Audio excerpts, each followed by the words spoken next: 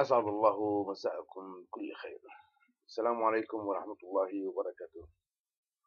هذا محدثكم دكتور عارف عز الدين معكم اليوم ما تبقى لنا من محاضرات الأوراق الطبية.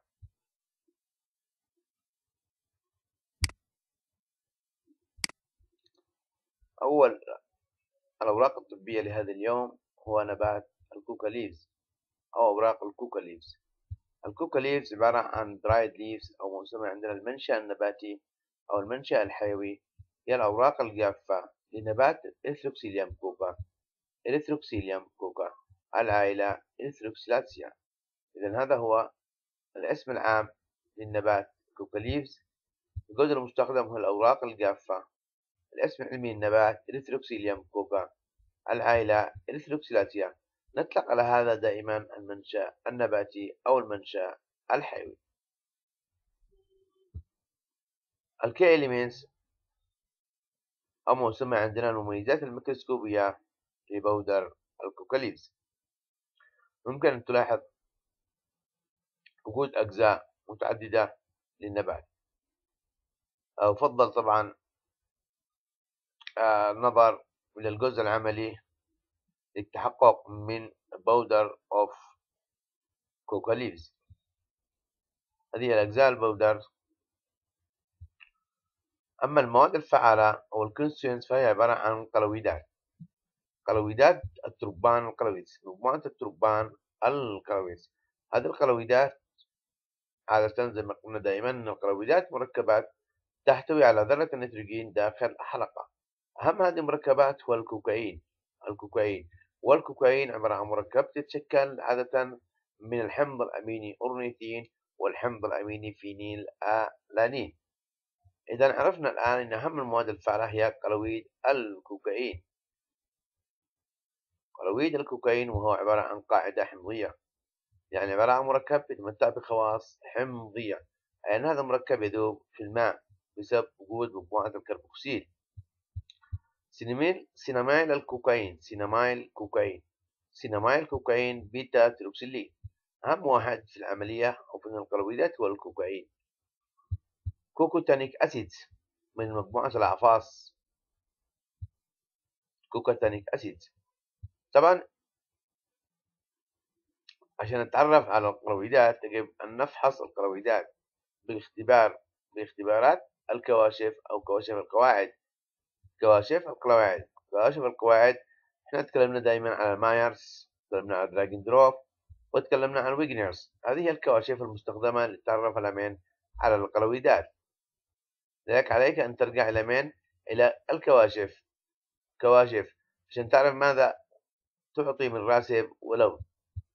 هذا cocatannic acid ترجع لكواشف الأعفاص أو ال tannins مع FeCl3 يستخدم عادة الكوكايين local anesthesia مخدر موضعي. وأيضا يستخدم محفز ومقوي. الكوكايين عادة يستخدم على شكل hydrochlorides cocaine hydrochlorides. وهذا طبعا يستخدم topically لإنتاج ما يسمى عندنا بال local إيش؟ anesthesia. يعتبر الكوكايين ذات قيمة كبيرة جدا في كاستخدام في الاستخدام الموضعي أو في التخدير الموضعي.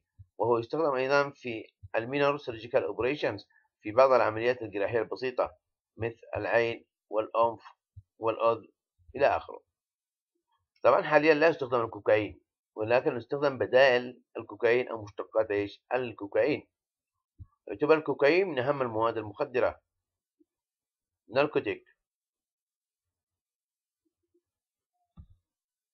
الشاهي. تي الأوريجين عادة زي ما قلنا الجزء المستخدم واسم النبات والعائلة.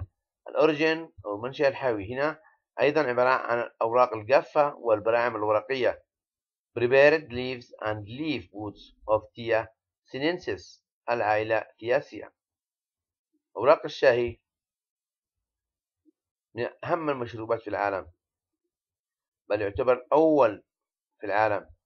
ال active ingredients القلويدات من مجموعة ال proto alkaloids مجموعة ال proto alkaloids وأهم هذه القلويدات هي قلويدات البورين قلويدات البورين.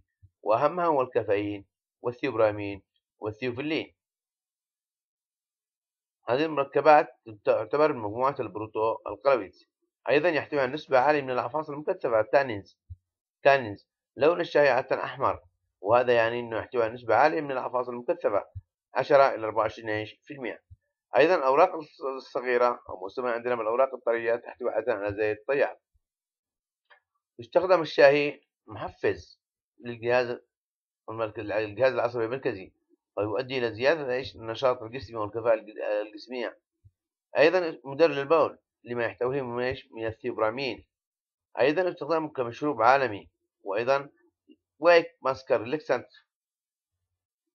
weak muscle عمل استرخاء للعضلات muscles relaxant muscle relaxants weak ولكن ضعيف. في ال large doses عادة الشاهي ممكن يؤدي إلى irritation تهيج تهيج في المعدة ممكن يؤدي إلى peptic ulcers constipation إمساك ممكن يعمل nervous irritability تهيج إيش عصبي. طبعا الكواشف حق القلويدات هنا معنا كواشف أخرى وهو هنا في هذه الحالة كاشف المستخدم للتعرف على قلويدات الكافيين وال theobromine وال theophylline هو كاشف نطلق له murexide test. murexide test وال murexide test هذا يعطي purple colors مع الكافيين وال theobromine وال theophylline. إذا الكاشف المستخدم هنا ما هو؟ هو ال murexide murexide test.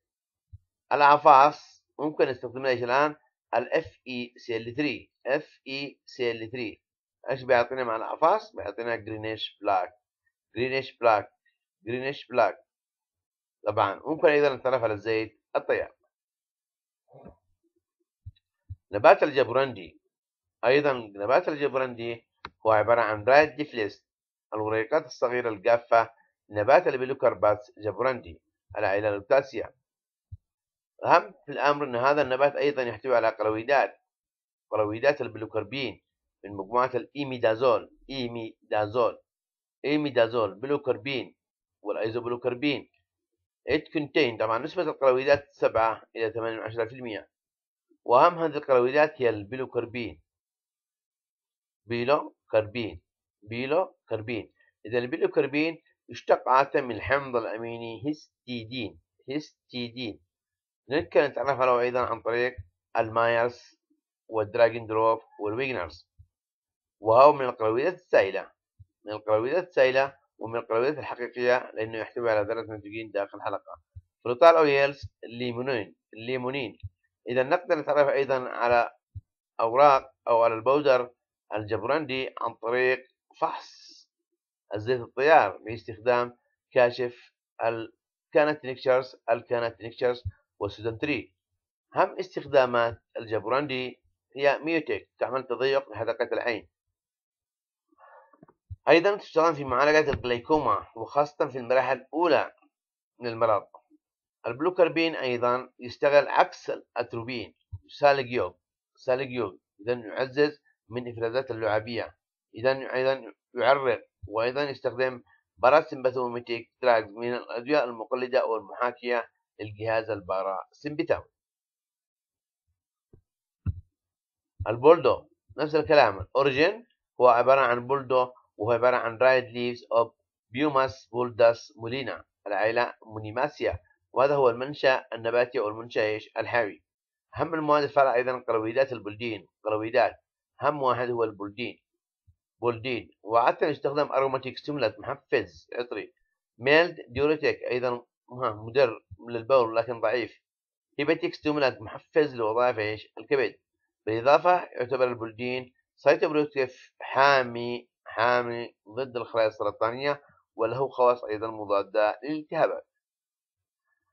الكواشف نفس كواشف بين القلويدات الكافور أو eucalyptus. ال eucalyptus أيضا عبارة عن dried leaves الأجزاء المستخدمة أو المنشأ النباتي هي الأوراق الجافة لنبات ال Eucalyptus globulus العائلة Myrtaceae طبعا أهم ما في الكافور أنه يحتوي على زيت طيار. زيت طيار نسبته 3 إلى 5% وأهم هذا المركب أو أهم هذا أهم محتويات زيت الطيار عادة ال cineole أيضا يحتوي على الأعفاص tannins. أيضا يحتوي على الفلافونويد إذا معك هنا ثلاث مجموعات. المجموعة الأولى زيت الطيار. المجموعة الثانية ال tannins وال flavonoid طبعا يجب أن ترجع أيضا إلى تعريف زيت الطيارة إلى تعريف ال tannins إلى تعريف ال flavonoids ويجب أيضا أن تعرف هنا كواشف زيت الطيار كواشف الأعفاص وكواشف إيش؟ الفلافونيدات يجب أن ترجع للمحاضرات السابقة عزيزي الطالب. استخداماته astringent عادة قابض for asthma أيضا يعالج الربو. وأيضا antiseptic for respiratory tract infection أيضا مطهر للجهاز التنفسي بالإضافة إلى الاستخدامات الكبيرة لمن للكافور. الكافور يحتوي على زيت الطيار يعني أنه مضاد للأكسدة. الكافور يحتوي على ال tannins يعني أنه ممكن يعالج لك الجروح والحروق. الجروح والحروق. flavonoid وال tannins والزيت والزيت كلها مركبات مضادة إيش الأكسدة tannins. flavonoid. وأيضا ممكن يستخدم الكافور في علاج البواسير. في علاج البواسير ودوالي الساقين بالإضافة إلى ذلك الكثير من الأمراض الجلدية. نبات ال buchu أو ال Barosma أيضا منشأ حقه dried leaves Barosma betulina.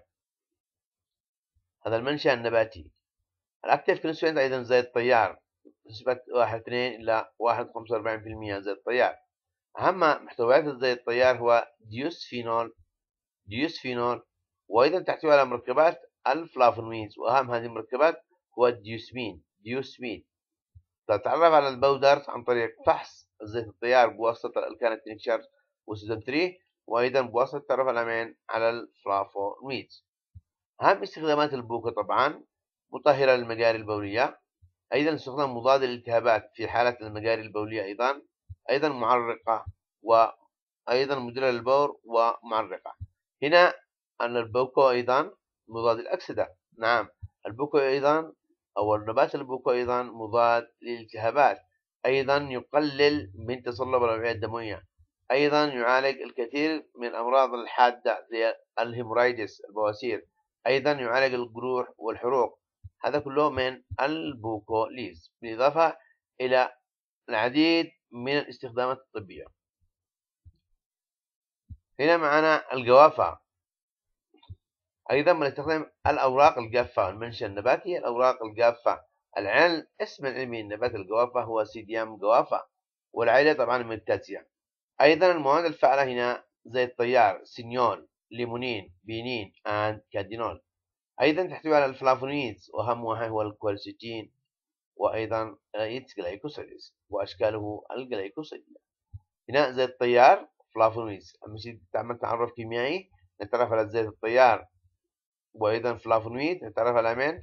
على الفلافونيد باستخدام مثلا هنا الوسط القاعدي. طبعا ال uses عادة astringent قابضة. أيضا antiseptic for respiratory tract أيضا مطهرة للمجاري التنفسية أو مسمى الجهاز التنفسي. وأيضا تستخدم في علاج السعال الخلطة يعني المختلط سواء كان السعال هذا جاف أو رطب. هذا الجوافة. الجوافة. أيضا الجوافة من أهم النباتات الطبية المضادة للأكسدة. لماذا؟ لأنها تحتوي على نسبة عالية من الزيت الطيار وال flavonoids العنصل أو ال red squill. ال red squill عادة variety أنواع عديدة من نبات ال Urginea maritima. أو سمعنا red squill العنصل العنصل العنصل الأحمر أو بصل العنصل نحن نستخدم الأوراق الجافة طبعا maritima أو yes طبعا ال color هذا واللون هو يعود لاحتواء النبات على ال anthocyanin أو المواد الملونة وهي مجموعة ال anthocyanin وهي تذوب عادة في ال cell sap أو نسمى في العصير الخلوي للخلية في نسيج ال mesophyll. أهم المواد الفعالة scillaren وال A and B glycosides وكلها من مجموعة ال cardiac glycosides cardiac toxic glycosides scillirosides طبعا هذه تعالج القلب ولكن في جرعة بسيطة جدا وأيضا تستخدم منزليا في مكافحة إيش؟ الفيران. نبات الحنة وكلنا نعرف نبات الحنة. الحنة أو أوراق الحنة عبارة عن أوراق الجافة لنبات اللوسينيا ألبا. لوسينيا ألبا هذا هو اسم علمي النبات لوسينيا ألبا. الجزء المستخدم الأوراق الجافة. العائلة ليتراسيا طبعا يعتبر النبات أو المنشأ النباتي النبات أو المنطقة الأصلية النبات هي مصر والهند. يحتوي على مواد ملونة وأهم هذه المواد الملونة هي اللوسون. من مجموعة ال hydroxy naphthoquinone أيضا يحتوي على الكومارينات أيضا يحتوي على الدهون. الحناء أيضا يحتوي على الأعفاص والفلافونويد يعني يحتوي على نسبة عالية من المواد الفعالة. طبعا الحناء هنا يستخدم طبيا لكثير من الأمراض وخاصة أمراض الكبد والطحال. أيضا يستخدم لكثير من معالجة الأمراض الجلدية والتقرحات الجلدية والجروح والحروق. بالإضافة لاستخداماته الشعبية أو استخدامه الشعبي الحناء يستخدم شعبيا كصبغة للشعر. هنا مثلا عشان نتعرف على الحنة أو بودرة الحنة يجب أن نتعرف الآن على من على عدد من المواد الفعالة من خلال الكواشف الكيمياء. حفظكم الله جميعا أينما كنتم وأسعدكم ربي وأتمنى لكم أوقاتا ممتعة. ولا تنسوا طبعا إيش؟ الإعجاب والاشتراك مع خالص. Hey